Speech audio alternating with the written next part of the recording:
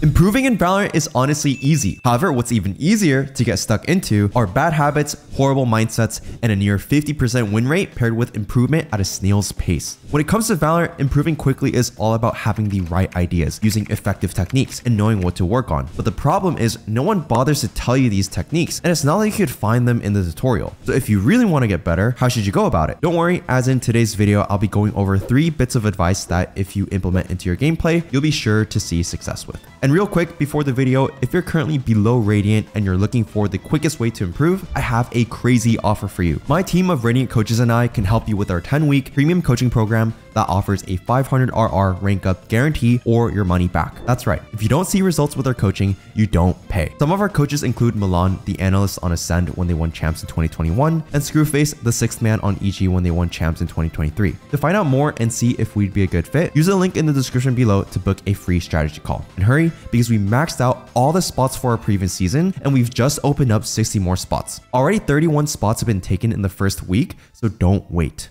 We all love winning. Let's be honest. No one hops into a Valorant game hoping to lose. However, this kind of mindset is also something that can really hold you back. Allow me to explain. First things first, in order to win games, we need to be better, or at the very least, play better than your opponents. A bit of a no-brainer perhaps, but the more important question is how do we actually achieve that? Well, there's two main ways. Just play.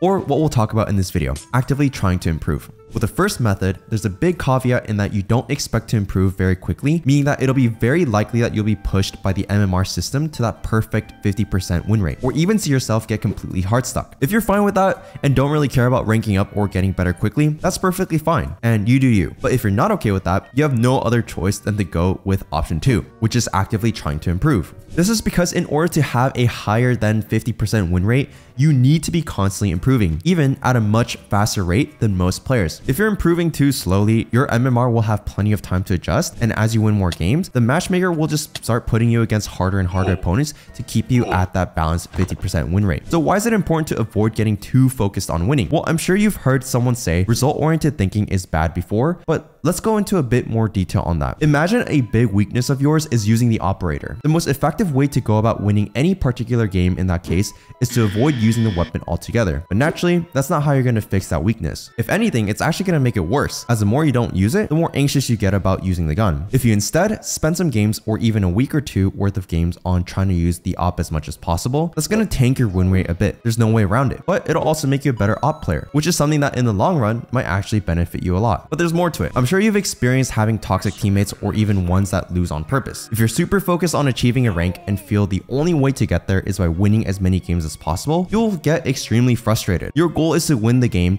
and the people who are supposed to be helping you achieve that are instead actively going out of their way to hurt your odds. When you're supposed to be playing a team game, it feels more like a 1v9. And though it's commonly used as a bad excuse, in cases like these, there might legitimately be nothing you can do to avoid that loss. In other words, this awfully unfun game you just had was a complete waste of time or even a sizable setback from the goals you were trying so hard to achieve. But what if you had a different mindset? What if you're just able to let go of the idea that winning is the only way forward? Well, it would be quite different. Just because your teammate is a terrible team player that is trying their hardest to lose you the game does not mean you're unable to practice your operator. If your goal is not to win, but instead to improve, you immediately start to become a lot less dependent on what your teammates are doing, how they are behaving, or even what the outcome of the game is. Of course, you still want to win and you should always try to achieve that, but we also realize that if we eventually want to win more than 50% of our games, we need to be focused on our own skills and not on the behavior of the players we only ever come across once or twice in our lifetime. The first step to improving is therefore letting go of winning. Though that might be easier said than done, it's important to try and remember that, as without recognizing it, it's easy to get stuck and improvement will slow down. The reason, as paradoxical as it might seem, is that the moment you let go of wins and losses and how they impact your rank, the more you'll actually start to see yourself ranking up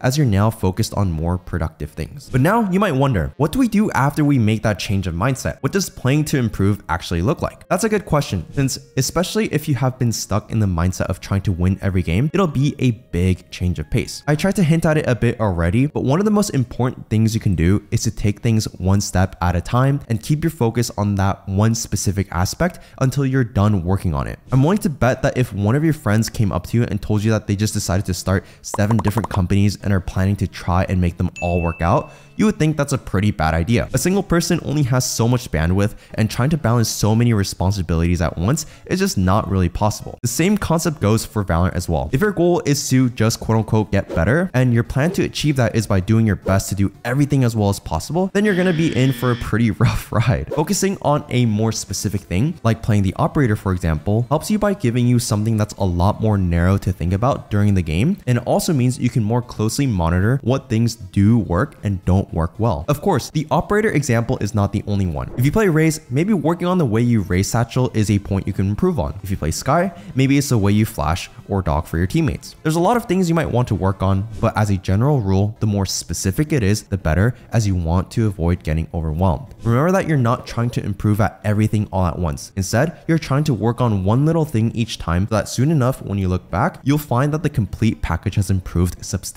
In the spirit of focusing on specific things, keeping quite a small agent pool is also generally a good idea. To be flexible, it's usually a good idea to learn more than one role, but even within your favorite role, it's not so bad if you don't play every agent. Relating it back to the analogy from earlier, the more agents you play, the more companies you're trying to run simultaneously. And to add on to that, the more roles and styles of agents you play, the more various sectors your companies might be in. Nevertheless, even if you decide to play all 24 agents, always try to focus on one thing at a time. That way, even if your teammates are trolling, your enemies are smurfing, and you're bound to lose the game, you're still able to have some level of fun and extract value by focusing on your goal for the game. In other words, while your teammates leave that game overflowing with tilt, you leave it as a better player. Finally, I want to mention something that may not be the most fun thing to hear, but is still extremely important, and that's try not to take shortcuts. Shortcuts are extremely appealing in that they seem like an easy way to achieve your goals without putting in as much effort. But in Valorant, they often lead to bad habits or result in you missing key skills that will become apparent you actually needed sooner rather than later. In the context of Valorant, one of those shortcuts might be overusing weapons like the Odin or the Judge. Sure, you might realize the average gold player has no idea how to counter them, but even if you climb because of the weapon, you won't be a much better player. If you want to get good at anything, it's important to get comfortable being a bit uncomfortable. If your sheriff really needs some work, don't avoid buying the weapon, but instead use it as one of your specific points of improvement and work on it until it becomes a strength. Just like how you shouldn't be focused on winning if you want to rank up, you don't want to look for shortcuts. Your goal should always be to improve at specific things until you're at a level where you can effortlessly climb to the next rank. If it feels like you need to really grind in order to get a rank up, you should probably focus your